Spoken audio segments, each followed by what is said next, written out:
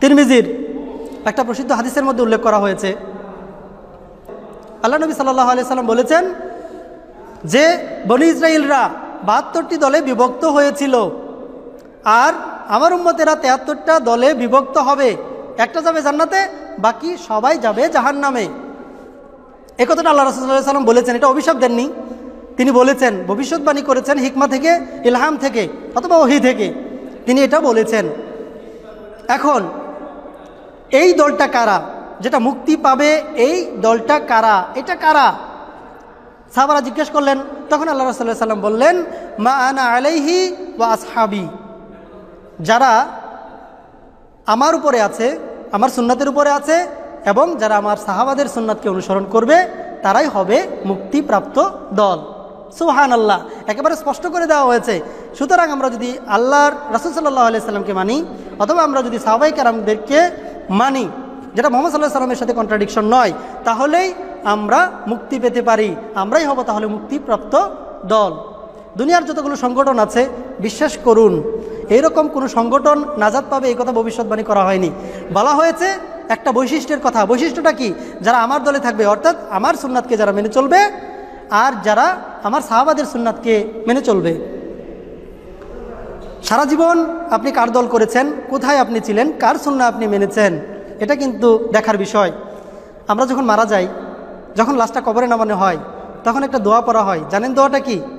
বিসমিল্লাহি ও আলামিল্লাতি রসুলিল্লাহ। আপনাদের অনেকের মুখস্থ মাশাল্লাহ অনেকের মুখস্থ। জানেন সেটার অর্থ কি?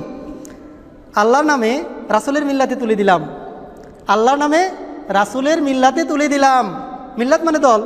আল্লাহর নামে রাসুলের দলে তুলে দিলাম।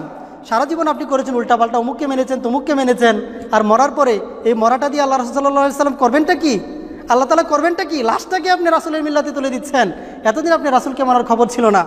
সাল্লাহ আলি সাল্লাম। এভাবে মুক্তি পাওয়া যাবে না। সুতরাং জীবিত অবস্থায় আপনাকে মানতে হবে মোহাম্মদ সাল্লাহ আলহি আসাল্লামকে তারপর দেখুন এরপরে মোহাম্মদ সাল্লাহ আলি সাল্লাম বলেছেন যেটা উল্লেখ করা হয়েছে আবু দাউদের ছেচল্লিশশো সাত নম্বর হাদিসের মধ্যে, এভাবে বলা হয়েছে যে একটা যুগ আসবে, একটা সময় আসবে, মতবিরোধ তোমরা দেখতে পাবে। তখন আমার সুন্নারটাকে তোমরা দাঁত দিয়ে কামড়ে ধরবে, খুব শক্ত করে কামড়ে ধরবে। আর মুক্তি পাবে তারা। এখানে তিনি বলেছেন, আলাইকুম বি সুন্নাতি ওয়া সুন্নাতিল খোলাফা ইল মাহিদিন রশিদিন। আল্লাহ রসুল্লাহ সাল্লাম বলছেন যারা আমার সুন্নাতকে সেদিন আঁকড়ে ধরবে এবং যারা খোলাফাই রাশিদিন, আপনারা জানেন খোলাফাই রাশিদিন চারজন, তাদের সুন্নাতকে যারা আঁকড়ে ধরবে, তারাই হবে মুক্তিপ্রাপ্ত। অন্য কোনো কিছু দিয়ে আপনার মুক্তি পাওয়ার আশা করার কোনো সুযোগ নেই। মানতে হবে মোহাম্মদ সাল্লাহ আলিয়া সাল্লামকে এবং যে সাহাবাদের কথা তিনি বলেছেন, তাদেরকে আর বাহিরে গেলে আপনার মুক্তি পাওয়ার কোনো সম্ভাবনা নেই। একটা হাদিস আমি আপনাদের সামনে বলি সৈয়াল বুখারির পাঁচ হাজার তেষট্টি নম্বর হাদিস। এখানে বলা হয়েছে একবার তিনজন ব্যক্তি মসজিদে নবীতে আসলো। আসার পরে তারা নবী স্ত্রীদেরকে জিজ্ঞেস করল যে, মোহাম্মদ সাল্লাহ আলহিহাস্লামের ইবাদত এটা কেমন? তখন তারা যে বিবৃতি দিলেন, যে বর্ণনা দিলেন, এতে এই তিনজন ব্যক্তি অবাক হয়ে গেল এবং বলল, আমরা তো হচ্ছে পাপি। আর মোহাম্মদ সাল্লাহ আলিয়া সাল্লামের পূর্বের এবং পরের সকল গুণা ক্ষমা করে দেওয়া হয়েছে। আমরা যদি মোহাম্মদ সাল্লাহ সাল্লামের মতো ইবাদত করি, তাহলে তো আমরা মুক্তি পাবো না। বরং আমরা এর থেকে বেশি করব। একজন বলল যে আমি সারা রাত ইবাদত করব। আরেকজন বলল, আমি সারা জীবনই বিয়ে করব না। আরেকজন বলল, আমি সারা বছর সিয়াম পালন করব। চিন্তা করেন সিদ্ধান্তগুলো তাদের। তখন আল্লাহ রাসুল সাল্লাহ সাল্লাম আসলেন এবং জিজ্ঞেস করলেন, তোমরাই কি এই কথাগুলো বলেছ? তারা বলল হ্যাঁ আমরা এই কথাগুলো বলেছি। তখন বলল যে, জেনে রাখো, আমি আল্লাহ তালাকে সবচেয়ে বেশি ভয় করি। আমি সারা রাত সালাত আদায় করি না, কিছু অংশ ঘুমাই। আমি সারা বছর সিয়াম পালন করি না কিছু সিয়াম ভাঙি। আমি বিবাহ করেছি মহিলাদেরকে। সুবহান আল্লাহ তারপরে তিনি একটা শক্ত কথা বলেছেন। সেটা কি জানেন?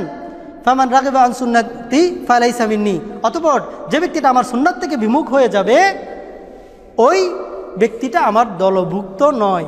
সুতরাং অতি পণ্ডিতি করে কেউ মোহাম্মদ সাল্লাহ আলহিহাস্লামের থেকে বেশি করতে যাবেন না। কেউ করতে যাবেন না। যদি আপনারা মোহাম্মদ সাল্লাহ আলহিহাস্লামের থেকে বেশি করতে যান, তাহলে আপনি মোহাম্মদ সাল্লাহ আলহিহাস্লামের দলভুক্ত থাকতে পারবেন না। একটা কথা আপনারা শুনেছেন, ইবাদত কবুল হওয়ার জন্য দুটি শর্ত। যে কোনো ইবাদত, আপনি যদি কবুল করতে চান, মাত্র দুটি শর্ত। শর্ত দুটি কি? এক, ইবাদত হতে বা আল্লাহ তাল্লাহ সন্তুষ্টির জন্য। দুই, ইবাদত হতে হবে রাসুল সাল্লাহ আলী আসাল্লামের তরিকায়। তার মানে আপনি আল্লাহ সন্তুষ্টির জন্য করবেন এবং মোহাম্মদ সাল্লাহ আলিয়াল্লাম যে পদ্ধতিতে শিক্ষা দিয়েছেন, ঠিক সেই পদ্ধতিতে আপনি ইবাদতগুলো করবেন।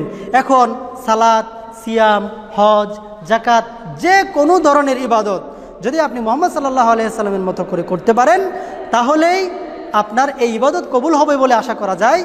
আপনি মোহাম্মদ সাল্লাহ আলিয়াল্লামের দলে উঠতে পারবেন বলে আশা করা যায়। এখন আমাদের যে মতবিরোধগুলো আছে অনেক ধরনের মতবিরোধ আমরা দেখতে পাই এবং আপনারাও দেখতে পান।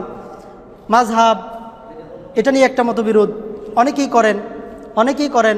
যারা মাঝহাব মানেন না, তাদেরকে লামাজহাবি বলে গালি দেন। এরকমটাও করেন। আবার আপনারা এরকমটা দেখতে পাবেন, পীরদের মধ্যে অনেক গ্রুপ রয়েছে, অনেক অনেক গ্রুপ রয়েছে, ইত্যাদি ইত্যাদি। যদি আপনি দেখেন, হাজার হাজার রকমের গ্রুপ আপনি কোনটা মানবেন? আপনি কি পরিচয় দিবেন? এই কথাটাও কিন্তু আল্লাহ তালা কোরআনের মধ্যে স্পষ্টভাবে উল্লেখ করে দিয়েছেন।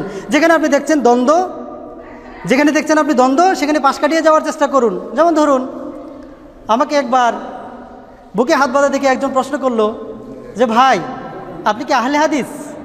আমাকে একজন প্রশ্ন করল যে, ভাই, আপনি কি আহলে হাদিস? আমি বললাম যে, আমি আহলে হাদিস হলেও আপনাকে বলব না। কারণ আপনার তো আগে চিন্তা করা দরকার ছিল, আপনি মুসলিম কিনা? আপনি চিন্তা করেছেন আপনি আহলে হাদিস কিনা? তার মানে আহলে হাদিস হলে হয়তো আপনি ভালো ব্যবহার করবেন অথবা খারাপ ব্যবহার করবেন। আপনি এই ধরনের প্রশ্ন করছেন কেন? আপনি দেখছেন যে আমি একজন মুসলিম। আপনি অন্যভাবে প্রশ্ন করতে পারেন যে আপনার সালাদ, সিয়াম এরকম করেন কেন? আপনার সালাদগুলো আপনি এইভাবে পালন করেন কেন? আমি পারলে যুক্তি দিব, পারলে আমি দলিল দিব। আপনি আগে প্রশ্ন করছেন, আপনি কি আহলে হাদিস? আমি বললাম যে, আমি আহলে হাদিস হলেও আপনাকে বলব না, কারণ আপনার উদ্দেশ্যটা খারাপ। বলব না। যদি আপনি দেখেন, আমাদের পরিচয় কী হওয়া উচিত, এটা বলে আমি করতে চাই। সরফুসিলাতের তেত্রিশ নম্বর আয়তের মধ্যে উল্লেখ করা হয়েছে, আল্লাহ রাবুল আলমিন বলেছেন, ওমান আহসান কৌলামিমান ইন্নানি মিনাল মুসলিমিন। তার কথার চেয়ে আর কার কথা উত্তম হতে পারে যে মানুষকে আল্লাহর দিকে ডাকে, সৎ কাজ করে এবং বলে যে, আমি একজন মুসলমান। সুতরাং, আমি একজন মুসলমান, এটাই আমাদের জন্য যথেষ্ট পরিচয়। তারপরে অন্যগুলো পরিচয়ের জন্য অনেক সময় দিতে হতে পারে, কিন্তু সবার আগে বুঝতে হবে, আমি একজন মুসলমান। আর সবাই যখন আমরা মুসলমান দাবি করব, তখনই ঐক্য আসা সম্ভব, আর ঐক্যের ভিত্তিটা হবে কোরআন এবং হাদিস। আল্লাহ রাবুল আলমিন আমাদেরকে সঠিক